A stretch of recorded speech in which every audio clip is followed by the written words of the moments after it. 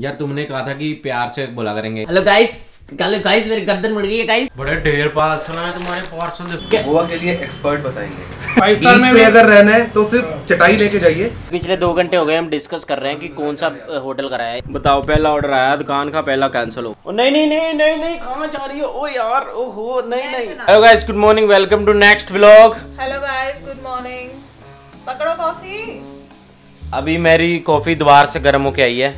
कोई नई बात नहीं है। एक बार ठंडी हो चुकी है क्योंकि एक्चुअली मेरे सामने चीज़ पड़ी रहती है और ये भी बहुत गुस्सा करती है मुझे। अब तो देखना। क्या?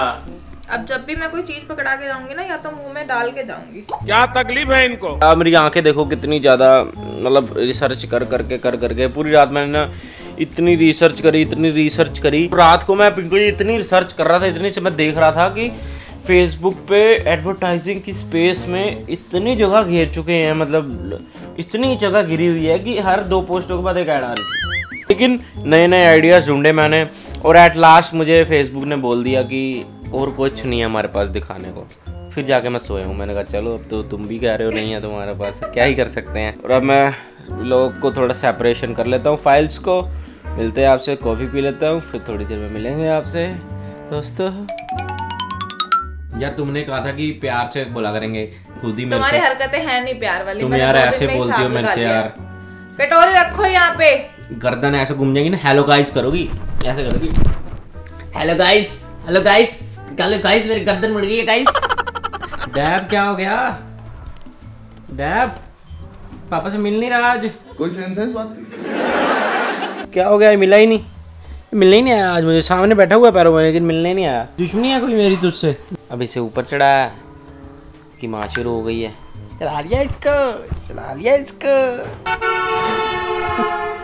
अरे पता नहीं किस ख्यालों में खोया हुआ है मतलब कहाँ खोया गरम गरम मिल चद्दर गरम है ना अच्छा। उसको अच्छा लग रहा है। पता नहीं अच्छा लग रहा है। मुँह रख के हाँ। पूरा उदास है लग रहा है आज मुझे। बन गया ये लहू।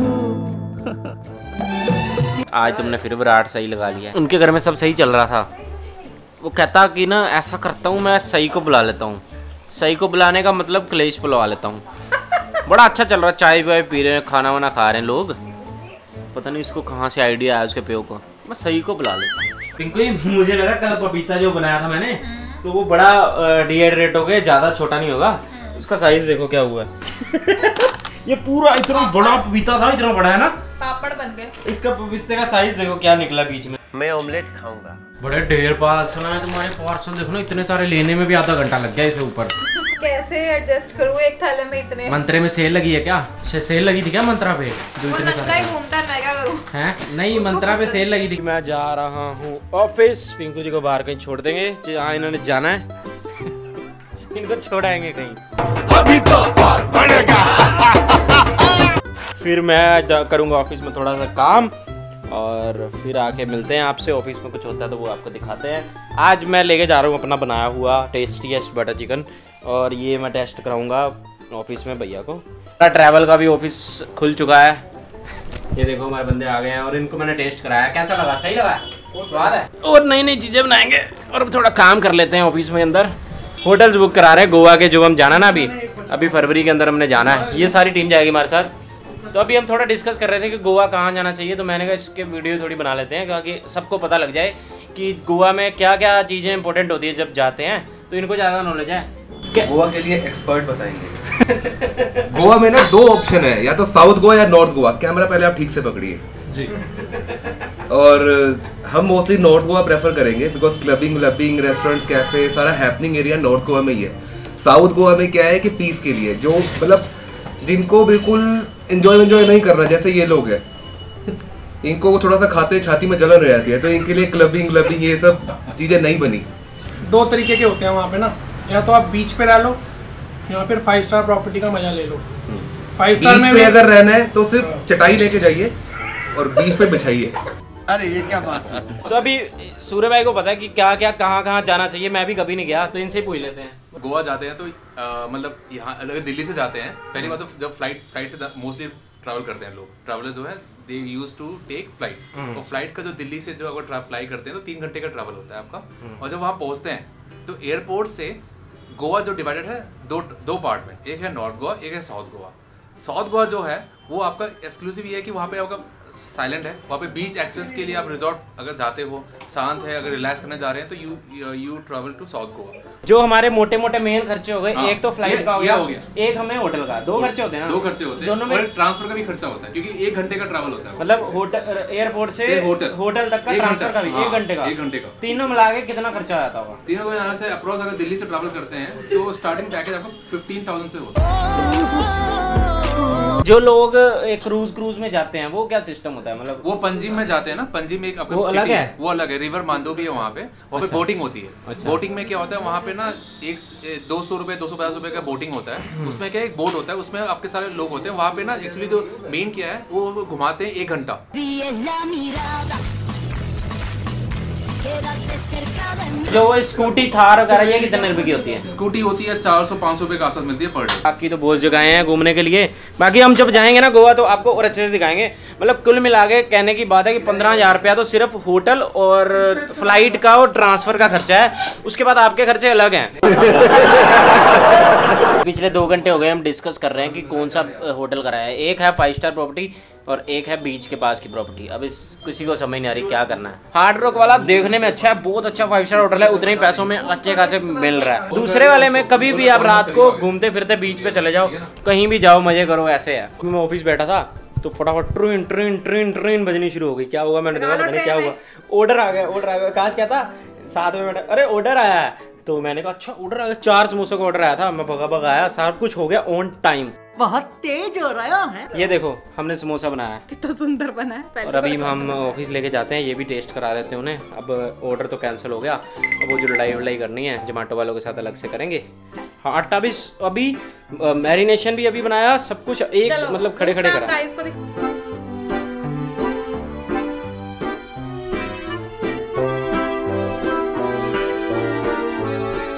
ये देखो कितना प्यारा समोसा बना है। एक साइड ये निशान आ गए क्योंकि ये फ्रायर के निशान है। बाकी देखने में देखो कितना प्यारा लग रहा है ऑयल भी बिल्कुल हाथ में नहीं आ रहा। बनाया किसने? है ऐसा लग रहा है हल्दीराम वाला महँगा समोसा नहीं होता हाँ ये देखो हमारे समोसे महँगे हैं। मतलब देखने में लुक वाइज हर चीज़ में महँगा महँगा मतलब देखने की कोशिश करेंगे पर सस्ता है वैसे। इनका वेज कोई भी नहीं आया। हम आगे दे रहे हैं ये खाएँगे। अभी गोवा का हम प्लान कर रहे थे कि हार्ड रॉक कैफ़े करें हार्ड रॉक कैफ़े ऑलरेडी वैसे ही पूरा का पूरा बुक हो चुका है। आज आज घर नहीं जाएँगे? आज सारे धरना देके बैठे कि आज तो करके ही जाना नहीं आज घर नहीं जाएँगे हम। बताओ पहला ऑर्डर आया दुकान का पहला कैंसिल हो। हमें तुम्हारे लक्षण बिल्कुल ठीक नहीं लग रहा है तुमसे ना हो पाएगा। फाइनली सारा दिन पता है सारा दिन वो डिस्कशन चल रही थी आज। अच्छा, होटल कर लो कौन सा करना ये कर लो वो कर लो।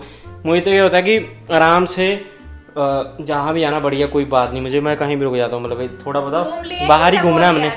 अब हमें? आकाशा करा शायद आकाशा आकाशा आकाशा की मैंने मैं ऐसे छोड़ दिया जो मर्ज़ी करो। मैं पूछता ही मेरी बात सुनो। ट्यूबलाइट की बात नहीं होती इतना कौन दिमाग लगाए? जी हमारे समोसे हो चुके हैं बिल्कुल अप्रूव समझ आ गया हमें उसका क्रैक हमने कर लिया कोड कैसे स्वाद बन सकते हैं? अभी जाते हैं फिरोजपुर कल है हमारी ट्रेन रात की। और फिर वहाँ से आके हमने जाना गोवा। कल रात शाम को कर दूँगा मैं बंद। फिर आराम से तब खोलेंगे आगे। अबे जल्दी बोल कल सुबह पनवेल निकलना है।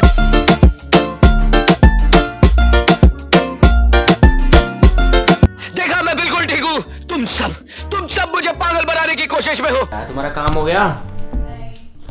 ये किसका काम ही नहीं हुआ अभी तक? पता नहीं अपना सूट खुद ही बनाई जा रही है और उसको लगी हुई है लगी हुई है लगी हुई है। पर तुम्हारा काम ही नहीं खत्म हो रहा। तो कोई नहीं खाना तो खाएँगे। मुझे भी भूख लग रही है। वो मैंने सीरीज़ भी देख ली थी पर मुझे नींद भी आ रही है पर मुझे देखनी भी है। तुम देखोगे क्योंकि अब तुम सो चुके हो। आ जाओ। ग्यारह बज गए हैं।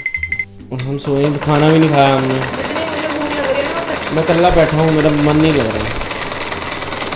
अरे ये ना पता है क्या? समोसे मैंने बनाए थे जो आज।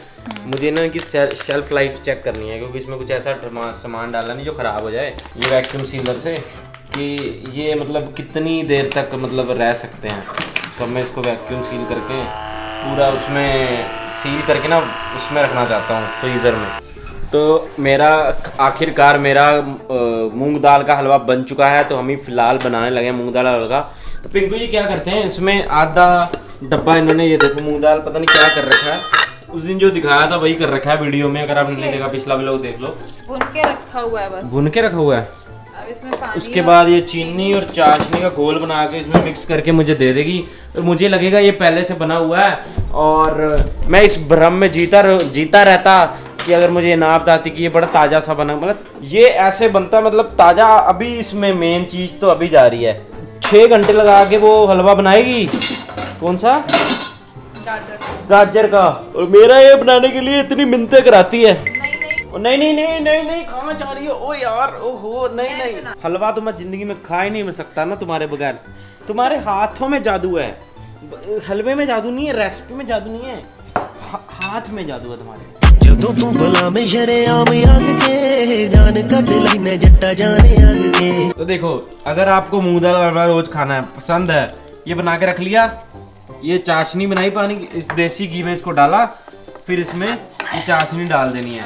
इसमें ऊपर खोया मुझे काजू बादाम पर इस ये इसमें गीला गीला कम क्यों है? ऐसा क्यों लग रहा है कि हम तो खाते हैं अपना हलवा इंजॉय करते हैं अपना हलवा और आप अगर खाना है आप भी रेसिपी हमने बता रखी है। खाओ और खिलाओ। मामा चाचा ताया फुफड़ सबको खिलाओ। तो आज का व्लॉग करते हैं यहीं पे समाप्त मिलते हैं जल्दी कल के नेक्स्ट व्लॉग में। और कल हम जा रहे हैं फिरोजपुर। और फिर हम जाएँगे बसंत मनाने फिरोजपुर और फिर हम वापस आएँगे फिरोजपुर से और फिर हम अपने सूटकेस फिर हम रखेंगे फिर हम गोवा जाएँगे और आपके लिए बढ़िया बढ़िया कंटेंट बनाएँगे। वहाँ पे जाके ना हम पता क्या करेंगे गोवा जाके। लोकल जोतेंगे और भाई साहब क्या हाल है यहाँ पे क्या प्रसिद्ध है? मतलब अच्छा सा कंटेंट बनाएँगे कि आपको आज मैंने कितनी नॉलेज दी कि गोवा कितने रुपए में जाना चाहिए क्या एक्सपेंस होता है किस चीज़ का एक्सपेंस होता है वहाँ घूमने का क्या होता है ये वो सब काफ़ी कुछ बताया। मतलब सब कुछ तो एलेबोरेट नहीं कर सकते। मेरी को ट्रैवलिंग वीडियो थोड़ी ना है जिसमें मैं सिर्फ़ यही बताता रहूँ। हाँ लेकिन गोवा जाते वक्त मैं इस चीज़ों के बारे में गौर फरमाऊँगा और पैसों के बारे में बताने की कोशिश करूँगा।